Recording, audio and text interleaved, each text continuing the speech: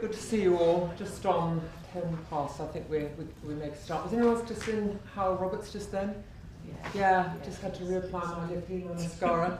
Somehow managed to get ink all over as well. I can't blame him on that. I of, yeah. Anyway, great to see you all this afternoon. So I'm going to be running through some of the thinking around high challenge, low threat, the implications for us as professionals as we hold ourselves to account and um, our colleagues to account, and the implications for this work for uh, our, some of our classroom practice. So I'm going to start, first of all, uh, with a thought experiment. So just imagining that uh, we're going to be sitting a test, all of us, like in the next three minutes. So no time to prepare. Um, don't know what it's going to be. And through the magic of the internal, it's going to be marked and uh, we're going to be ranked and put in place order according to how well we've come in the test. So it's going to be very obvious who the top bunnies are and who might be struggling um, at the back. So can we just pause for a moment and have a think about how that imaginary test would make us feel?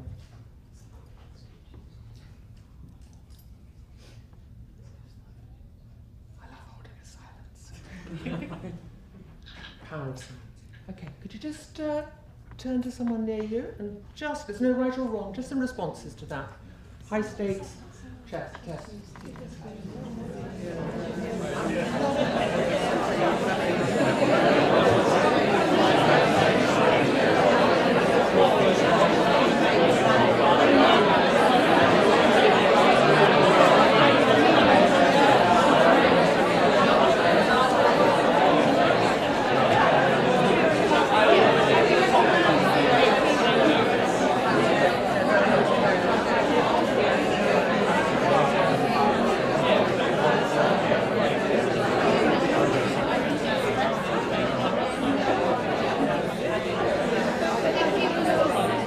And when you're ready,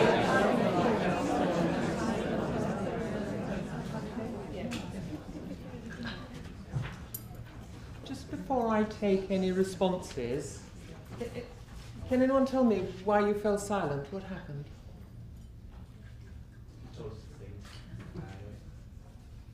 You were thinking, then you were talking, then you stopped talking.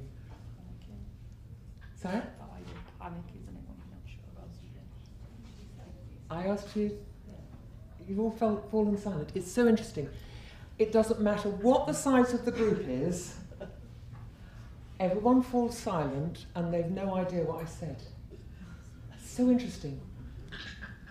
So I'm not having a go at anyone, I just find it really interesting. What I said was, because you- you're all doing this on quantity.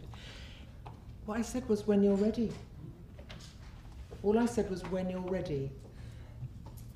Now, the reason I'm making just a bit of this is because I'm in a lot of classrooms where the teacher sets up something really quite interesting to do, to think about. Children are talking, and what happens is it's stop talking now. And woe betide anyone who carries on talking because they are challenging my authority as a teacher. Now, I think we've got to do a bit of thinking around this, and that is that as a child's thoughts and ideas, and thus as adults our ideas come out, that is when the learning is going on. And my self esteem as an educator should not trump children's learning. They do become quiet, you became quiet. Occasionally, I have to say it more than once. That is okay. So I just think it's quite interesting. You all knew to be quiet, but nobody knew what I'd said. Interesting going on there because you all had the chance to finish what you were saying. Okay, metacognitive uh, direction bit over. A- Anybody like to say how that, what their response was to that? High stakes, highly visible test. What was going on there? Anxious, anxious, anxious, anxious worried. Uh, you're immediately in competition, you're anxious about the people who are around you, so in terms of groups, it's destroyed that. Yeah. So very highly visible about how you're going to compare with others around you. Anybody else? Right. absolutely totally and utterly sick all of a sudden. Oh gosh, right. Sorry, it wasn't. It was. It wasn't for real. okay, but it is. Okay. Anyone feel? Oh, do, would you like to add to that? If you felt you might not do well at the test, then you might feel really angry at it and think it was pointless anyway. Did anyone fi- uh, think the opposite was which is fine because there's no judgmental paper. Yeah, would you like to say? Thank you. I think it would bother me if a couple has old enough now to think that that's Yeah. going to make any difference to who I am. Yeah. Okay, so that's really interesting. So there's a small minority, well, I've done this for thousands of times in the last 15 months or so when I've been thinking hard about this. About 90% of people express what you, um, a handful of people said, very uncomfortable, very nervous, the higher cognitive functioning elements of our capacity to do well all shut down because of all the emotions that are going on. About 10% of people in my non-scientific study express either what you do, they're they're okay with it. And a handful of people actually get a bit of an adrenaline rush because they're quite excited about it. But for most of us, it's a pretty uncomfortable space to be. This high stakes, highly visible, high challenge, high threat.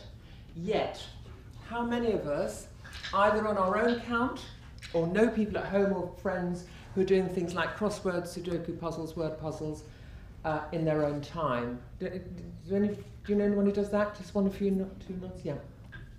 So something very interesting going on that we're prepared to put ourselves under pressure, to test ourselves, and test ourselves and go back and do it again. And then once we've got to a certain level, we don't normally like going back to do the easy examples again. We're prepared to do that in our own time. And not only that, we've got companies that are making millions of pounds out of the fact that we like testing ourselves. You go into any supermarket, you go to any newsagents, there's going to be yards of this stuff. They don't put it out there unless they're making money. So we've got a situation where, under the right conditions, we are prepared to put ourselves under pressure, to go back and do things again, to go on to more demanding stuff, as long as there's nobody making us feel like a muppet. now, I don't know about you, but I've done this before. I don't think I'm the only person who's been made to feel like a muppet publicly and oh, and privately. Sometimes it's unintentional. It's like, oh, you could have done better. You're stupid. Sometimes it's intentional, and that's really not on. We've got to be very, very careful about um, how we how we talk about this. But what I'm arguing from this is that we are a challenge-seeking species. We like doing things that are difficult. We like putting ourselves under pressure as long as there's nobody making us feel foolish. And what we need to be doing as part of that is to be distinguishing the work from the person. So I can be very robust about the work as long as I leave the humanity of the person that I'm talking with um, intact. When we start doing that, we can start really, really pushing ourselves and also pushing other people, including our children. So, what is it that our students and pupils are saying? What is it that they are saying? Well, they're telling me that they want more demanding work. So I'm doing a lot of student voice. I've done a lot of student voice over the last 15 years or so. Um, not asking students whether they like me or any other teacher, not asking them about whether they like their, you know, um, patterns on their socks or anything like that, but talking about what quality provision looks like and what might, what might improve it. And some very, very interesting stuff comes out, and I think it's um, a big strand of work that has been debased somehow. There's a huge amount of information, valuable information in there. So I was doing some of this work in, um, in a London school in the Christmas term, in the autumn term, and I was asked to work with, uh, for part of this was to work with some students that um, the school had identified as being um, highly, um, highly able, but um, were mucking about basically. Um, able but idle, basically. You know, we've all we've all got those in our in our in our settings, haven't they? So when I was talking to these students, they happened to be boys and in year nine, and I said to them, "What is it that's happening? Is it happening in any lesson where you are not mucking about, where you are really throwing yourself into the work? And if so, what is it?" And in this school, it happened to be geography. So I said to them, What is it that's happening in geography then? And they said, Well, for homework, our teacher sets us articles that would normally be read by um, university students, so geographical association type of uh, level, undergraduate and some postgraduate level. And what we have to do is we have to read those. We don't understand it all, but that's okay. High challenge, low threat.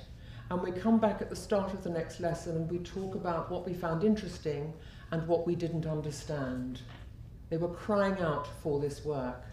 And in the uh, subsequent time that I've been talking about this, there have been a lot of examples of people coming back saying, We've tried this, giving them more demanding work, and they're absolutely lacking, absolutely lacking it out.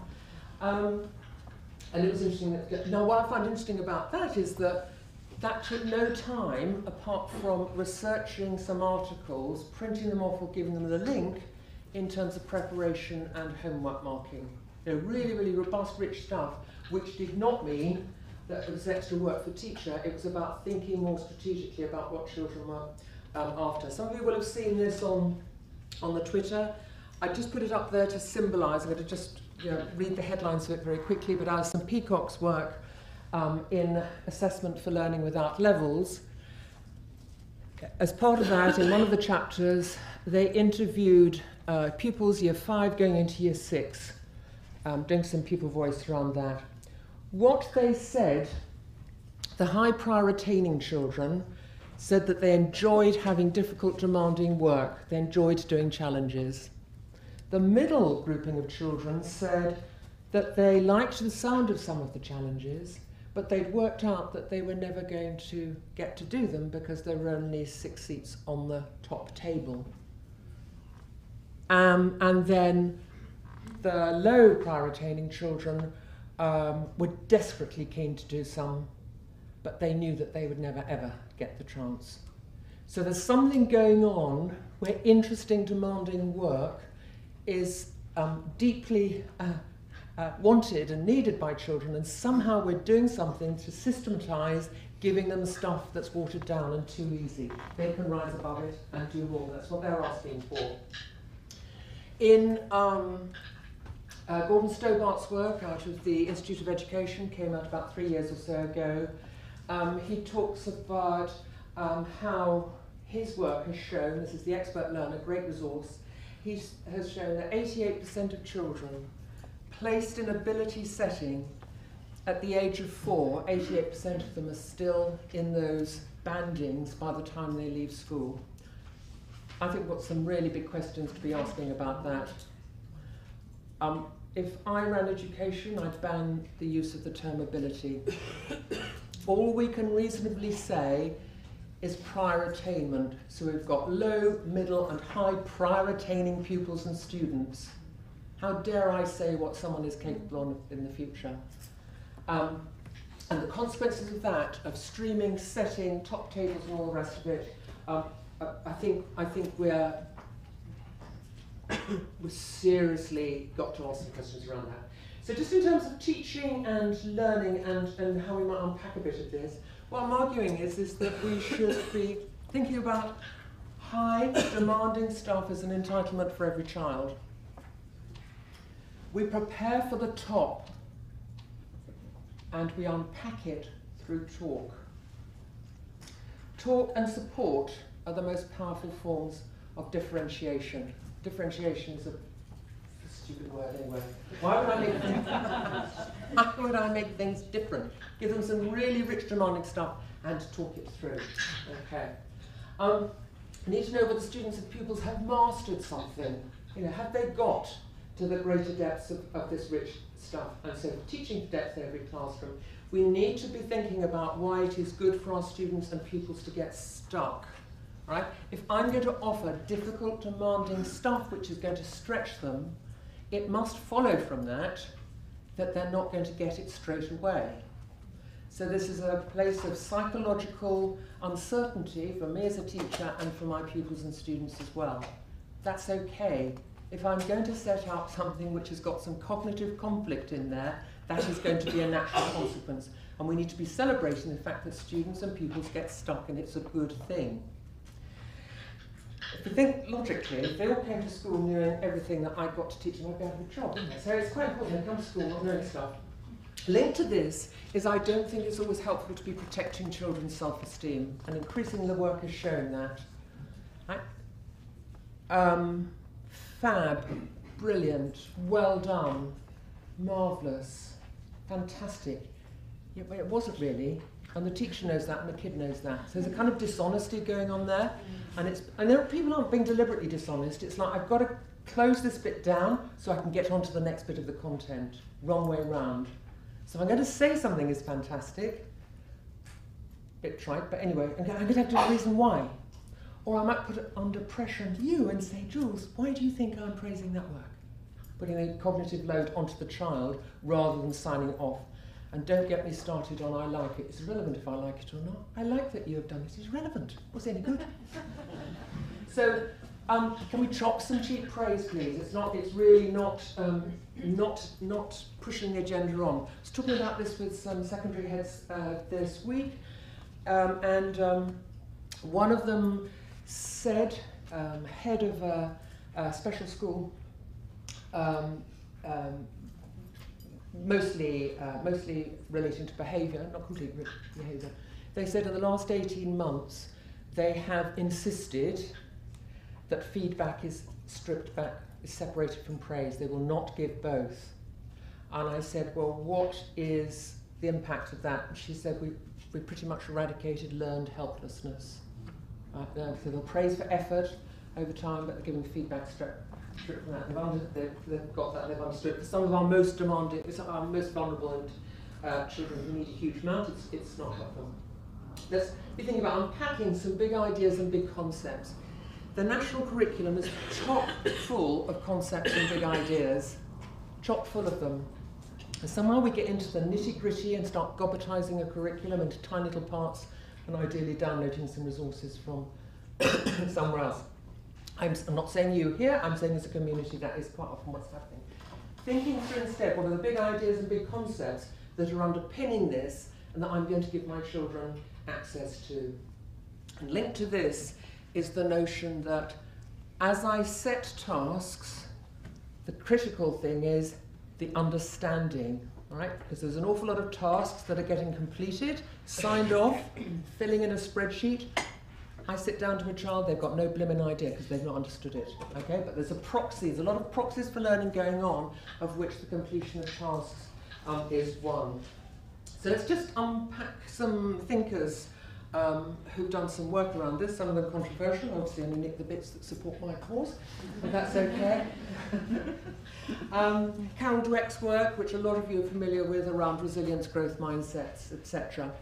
That thought experiment I did right at the beginning, um, that was her experience when she was at school, that um, there was a test, uh, exam test at, at the end of each week, and you came back on Monday morning and you sat in order according to how you count from the rest of the week. She was always in the top four or five, but she wondered what was it like for the uh, children at the back. And her work in terms of um, cognitive psychology has been informed by that over the last 20 years or so. Um, Daniel Willingham's work on in terms of why don't students like school, odd title, but some quite interesting stuff in there. Another cognitive scientist from um, Virginia, professor in Virginia, but what impresses me about Willingham, Willingham and um, a number of the other cognitive scientists working in this field is that they're coming from a place of humility. They're talking about uh, this is what the research is saying at the moment, and these are some possible implications for learning, and then they're triangulating that with, with the learning. It's not cast down, this is how you've got to do it. Um, but similarly, it's, it's quite right for us to contest some of them if we don't agree with them. But Willingham argues that humans are curious, but thinking is hard. And I would argue that the thinking being hard is a bit like when we're working out. It's good, hard. It's sweet sweat that emerges from that. That we should be thinking about the um, offering a lot of the curriculum in terms of problems to be solved, problems to be solved. Um, seen some really strong work on this, for instance, in maths and in science, where students come in and at the start of the lesson, it's two contrasting answers to a question, right? And they've just got to work out which one is the correct one and why. All right? Now, the great thing there is it doesn't matter if they've got the wrong one because it's through the talk that we unpack why it's the other one, not that one. Some lovely stuff um, in maths and uh, science that I've seen there. Um, a lot of work around the difference between long-term memory and working memory, that we need to be providing opportunities for our children to have a big bank of stuff that is that resides in the long-term memory that which can be drawn on because our working memory can only hold so much. So if I'm still struggling with my times tables, if I haven't got um, if I haven't really, really understood place value, and a teacher asks me to write down 102, I'm going to write down 1002. Okay, I'm going to start drawing on all sorts of stuff that is going to clutter my head because I haven't got that deep. So we've got an obligation to our children to make this as rich and as deep as, and as possible, which links to the next bit. Power of stories, conflicts, and dilemmas, which is why the themes that are in Coronation Street, EastEnders, and The Archers, which is my particular fix, these are ancient stories, okay, and they keep us, they keep us on our toes, wondering what is going to be happening next. And then the meaning of the material. Now, I've got into trouble before about talking about how it's really important our children know what, why they're doing something. Is that some kind of existential uh, problem that I'm solving? No, well, we're doing this because. and then I don't get students when I'm talking to them in second, some secondary contexts, and we're talking about uh, maths quite often comes up as an area where they're less um, secure, or they're not particularly enjoying it, which is a great shame. Maths is fabulous. And the topic, the area that comes up most often is algebra. And I say to them, why, why are you doing algebra? And a great many of them do not know why they are doing algebra. Those I've asked, are those I said, well, if you don't know, um, have you asked a teacher? Okay, and the response quite often is from the teacher is either I don't know, or for the exam, um, it's not, I don't think that's good enough. I don't think doing something for an exam, important as they are, is good enough. Right? So where does the term algebra come from? Who was Al-Ghazali? Where, was the, where were these uh, methods first used? I do not need to be an historian of mathematics in order to start offering that to my children. I just ask those questions and say, who would like to find out? Code for homework. They come back and tell us.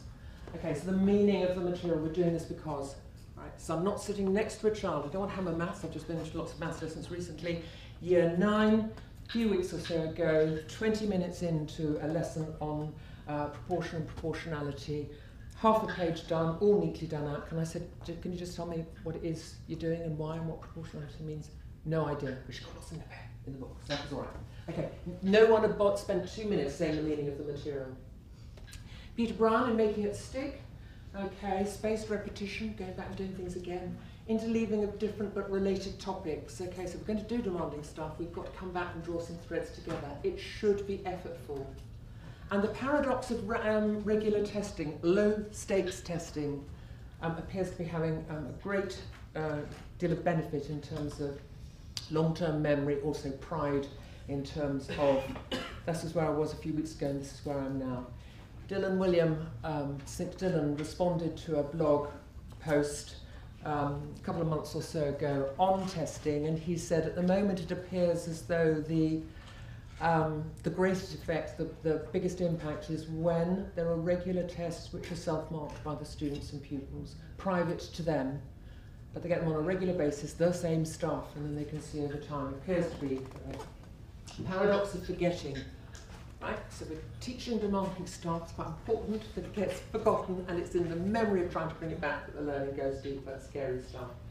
Leave that last one. Doug Lemov, Teach Like a Champion. Uh, absolute Marmite character, but some of his stuff is extremely interesting. Um, he says, no opt-out. If I'm teaching some demanding stuff about which I have absolute conviction, I do expect everybody to be with me, right? I should be able to ask anyone at any point in the lesson for a response. Yeah, that should be an expectation. And if they don't know, I'll come, I'll come back. Right? Now, I'm mean, I'm, yeah, I'm, I'm, I'm tough, and I'm robust, but I'm not mean. So there'll always be someone in my class, not always, but there could be someone in my class whose grandparent died the other day, whose cat got run over.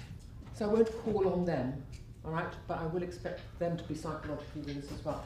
No half answers. No half answers. Okay? Um, we would ramp up standards very, very quickly if we expected all our pupils, all our children, to answer in complete sen sentences using the correct grammar. And one of the reasons why we accept partial answers is for speed and we don't want to put our kids under pressure. They have an entitlement to this. Stretching the answers, so someone gives an answer and then it's a proxy, everybody else has got it right? So someone's given an answer, that's A, some lovely work being done by uh, Alex Quigley, uh, who was doing a session this morning a few years ago. B, C, so someone, I'm going to ask someone for a because, okay, C, either contradictory or another contribution, stretching the answers so that we're making this, this work go further. Um, no cheap praise, great, and mistakes are good, celebrating mistakes. Ron Berger's work, The Ethic of Excellence, what a great title.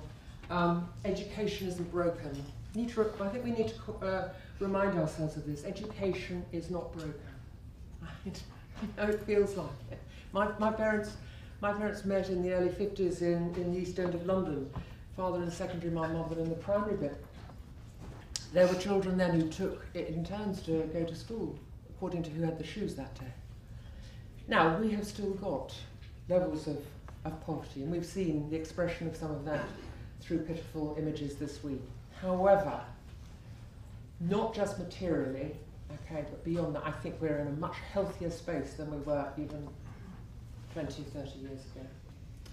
Um, good schools are creating a culture of excellence rather than perfection. Perfection is a completely wasted notion. It doesn't exist as far as we know it in this world. No mathematicians or philosophers can prove that. But excellence is a much more, um, much more messy notion and um, much more power in there. He argues that work of excellence can be transformational.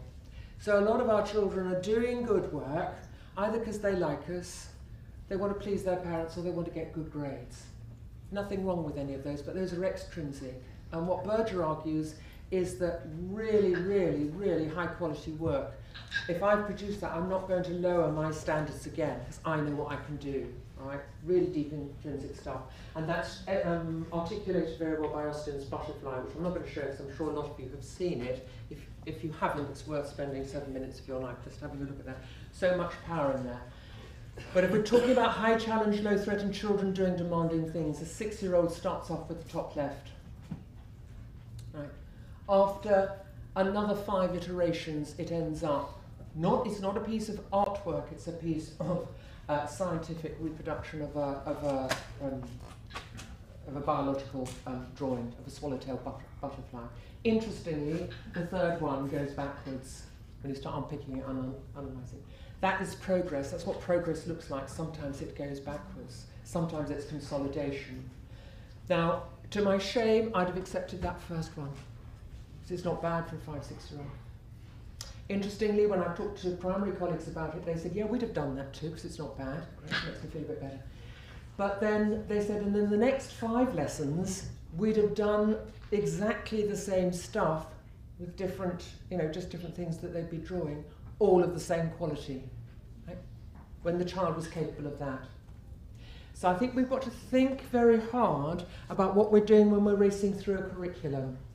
We might have got it covered on a piece of paper or a spreadsheet. Have our children really got it to that quality? What's happening there is that child is developing the deep internal architecture of what high quality work looks like. And it then means it's going to be much more efficient when it goes on to do something else very demanding as well. Given that we can't cover everything, what is it that we're going to say, this is absolutely a non, non-negotiable, we're going to do this in sufficient depth? Um, I'm talking a lot about oracy at the moment as a way of putting high extra challenge in to our lessons. I think it's very interesting that of the of the four elements in the national curriculum which relate to English, writing is number four. Now, I've got nothing against writing. I just wonder why we privilege writing above speaking, listening, and reading. Because it's hard, it's easy, it's easy to mark. That's basically why we do it. But if we want to, if we want to raise standards everywhere, including the quality of writing, we will pay much more attention, I'm arguing, to the quality of the spoken word in the classroom. Um, it's James Britton who said that writing floats on a sea of talk in the early 70s. Um, it's particularly important for those pupils who if any of you are in Alex Quigley's um, session this morning, and the, the, the, the out there, it's long standing, that the children who come from poorer backgrounds, poorer backgrounds financially, have heard up to 30 million words fewer than those who've not. Got to be very careful that we're not stereotypical about these children. I'm sure you can think of children who um, have pupil premium funding, who are disadvantaged, and yet have everything they need stories, poems, songs, grandparents taking them down to the allotment or down the riverbank. You've got children who, have, who are financially poor, but otherwise they are rich. No fun not having money, but they are okay. And you'll also have children who have got all the money in the world, but they've got that pinched look because no one's listened to them. No one's really heard what them say. But that aside, as a cohort, standards for these children in England decline the longer they are with us. Now, I, as an educator, cannot do anything about wider society and the fact these children, by and large, are not getting a language rich diet. There's nothing I can do about that. However, the minute they cross the threshold to my setting, the minute they come into my classroom, I'm going to be absolutely focused on making sure that there is a language a high-powered aspiration and expectation that every child has an entitlement to and contributes to, because this is a matter of, in my view, it's a matter of, matter of social justice. One of the ways to do this is to start thinking about questions. Now, my concern about the questions and getting to the depth and getting to the challenge is, um, there we are, is, um, is, is, the, is they're quite often uh, separated into uh, good questions and bad questions. So open questions are good, higher order questions are good, and uh, closed questions and lower order questions are not so good. I think we've got to strip all that out. Questions are important, full stop. How can I evaluate and analyse and, and think of new things if I haven't got any knowledge? So I think we've got to strip this out, and I, and I know what Bloom was doing with his taxonomy, but I think it should be a flat structure, in my opinion. However, when we're looking about trying to get some questions um, try to use these to get some greater depth. What we need to be thinking about is if I'm asking how many characters there are in the story, how many, uh, can we tell the story in our own words? I'm going to get very similar products as a teacher from my class. Very similar, I'm checking them, they're going to be quite similar. Nothing wrong with them. However, when I start asking, what would happen if Goldilocks came to your house? Which bit of the story did you like best? Can you think of a different ending to the story? The child is going to be drawing on a much wider and uh, richer range of experience and imagination to answer those, which is good. But I, as a teacher, have got much greater insight into the extent to which that child has understood the story rather than just telling me how many characters there were and retelling it in their own words. I think that those sorts of questions only take us so far. We need them, but they only take us so far. I just want to spend a bit now on uh, etymology. Am I standing in the wrong bit that it keeps jumping? Is it something I'm doing?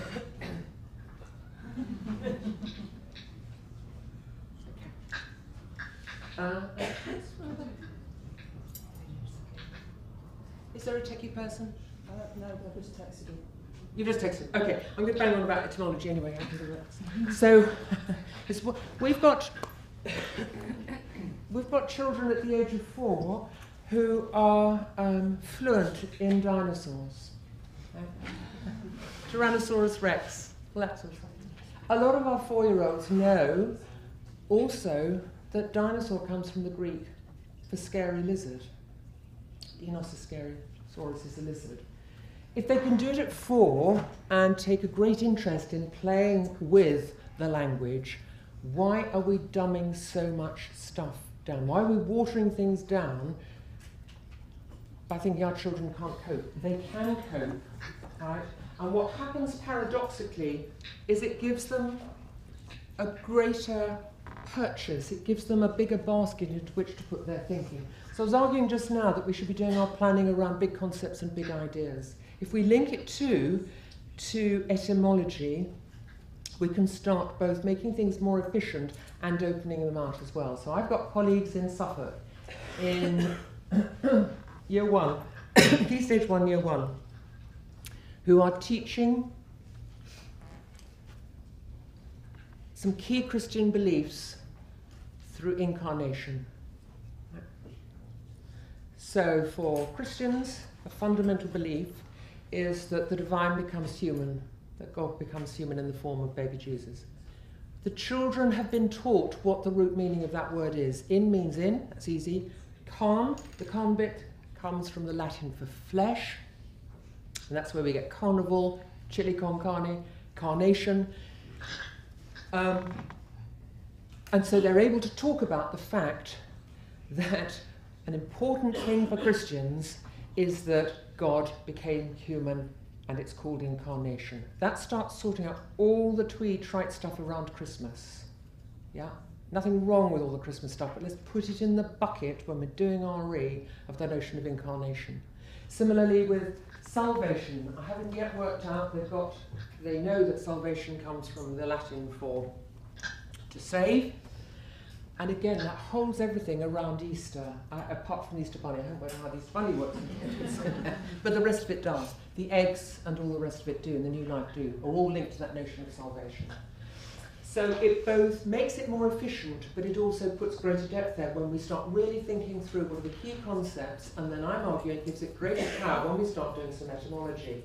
Similarly, in maths, if I know that isosceles comes from the Greek, from isos, meaning equal, skeles meaning legs? I've got a much clearer picture in my mind of actually what an isosceles triangle is. Furthermore, when I meet isos again, as in isobar, isometric, I might have a clue that it's something to do with equal. So it's this playfulness with the language which is providing greater depth and more challenge. What I'm finding is, is that children can't wait to go off and do the research around this. Right? I do not need to be a classicist in order to deliver it. I just, oh, that's an interesting word. I wonder where that came from. Which is exactly what happened to me when I was talking about it. I was then asked, what, um, what's the etymology? What's the root for area, Mary? Fortunately, I had just Googled it. Because he was on the pier and I was on there. And um, it means an empty space. I find that deeply satisfying, that the area is an empty space.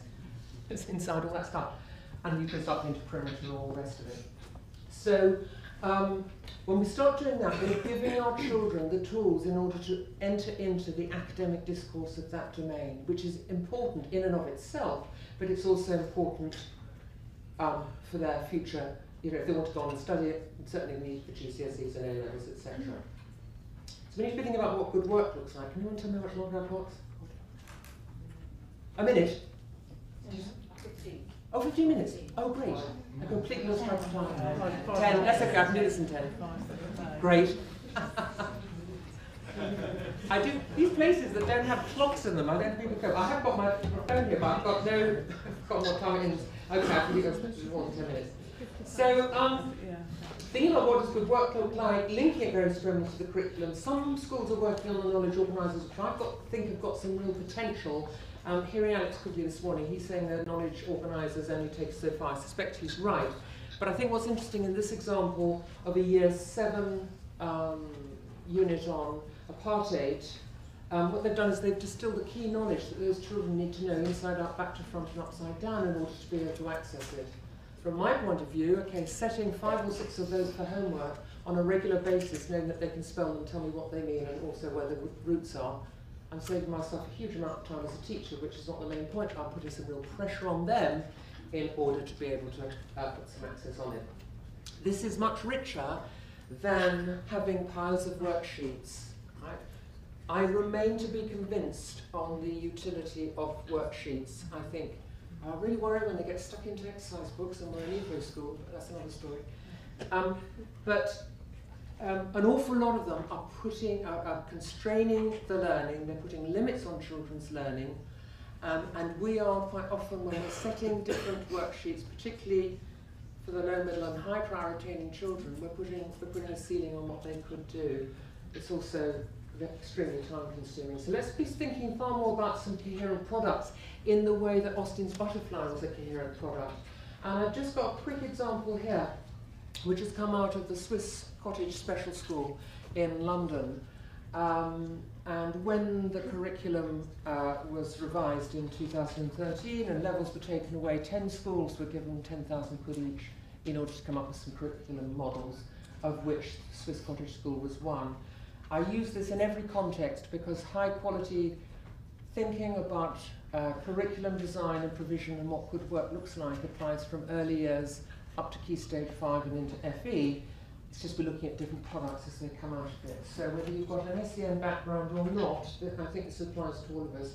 So in this context, it's the allegory of the guitar, and it's about thinking about how to introduce meaningful assessment without levels for learners with complex needs. The bit I want us thinking about though in this is whether there's high challenge in here uh, or not. So learner A and learner B, who were um, volunteers, uh, wanted to become musicians. A was given a 12-page list of outcomes which were related in some way to playing the guitar. Teacher A ticked each outcome off upon being met one by one. Identifies the colour of a guitar. Quite what that's got to do with playing with it, Benny, we'll let that go. Counts the strings of a guitar, flaps the strings of a guitar, and over time learner A had met most of the outcomes on the first eight pages of the list. And on occasions, teacher A would happily use the list to show the impact of her lessons and how successfully learner A had reached higher levels. And after several years, the visitor walked into the classroom and asked learner A to play the guitar. The learner, the visitor was promptly told by everyone in the room that this was not possible, as playing the guitar was something learner A had never attempted before. The visitor then looked through the 12 page list of outcomes, and by this time almost all of them had been ticked. Teacher explained that this was because learner A had met them, and he's now working at a higher level, she proudly said to the visitor. The visitor then proceeded to ask learner A questions related to the very first outcome, which had been ticked some time ago. What colour is your guitar, my friend? And learner A was not able to answer. Meanwhile, with teacher B, learner B was set the learning intention, I will perform in front of a live audience. And the first time learner B tried to do this, he nervously shook a tambourine and sung alongside teacher B, who played the guitar. He then learned to join in by slowly strumming a guitar with support from one of his friends. And over several years, he learnt some simple chords and tunes and became more comfortable with bigger and less familiar audiences. Each term, his learning intention was adjusted to enable greater mastery, and after several years, the visitor walked into the classroom to the sound of learner B rehearsing his own guitar composition using two to three chords, making only a few technical errors. Isn't this beautiful? He smiled and turned to teacher B, music to my ears. So, if we had more time, I'd be unpacking what might have been going on there in terms of curriculum design and, cur- and thinking about the design. But as we're short of time, I'm going to tell you what my version is of it. So, I'm not got to be careful not to be judgmental. I've just got to say what is the impact on learning and what might have um, have more power behind it. I suspect there was some learner A, teacher A practice sitting behind teacher B. However, teacher B was thinking about something really demanding for that child to do over time. We could argue that learner B showed mastery in a way that learner A didn't. But the proxy for learning, which was all those tick sheets and all the, all the exercises he had done, looked as though it was there. Now, the paradox of mastery is that once I am in the territory of mastery, I realise how little I know. So that child, learner B, in front of a live audience, is going to he knows, and he's going to grow. And the paradox is with learner B, learner A does not know what he doesn't know, and has never been has never been entered into the place of mastery of high challenge and low threat. Oh, great, lovely, thank you. And we're nearly done. That's okay. And then um, I think I nearly finished anyway. I can't remember what I was going to say. Oh yes, let's think about some coherent products. Great, next one. I'll just say, Well, we've talked about Austin's butterfly. I just want to revisit the headlines of that. If we think of high challenge, low threat, if we think of learner A and learner B, we need a fundamental, subtle shift in our thinking about curriculum design.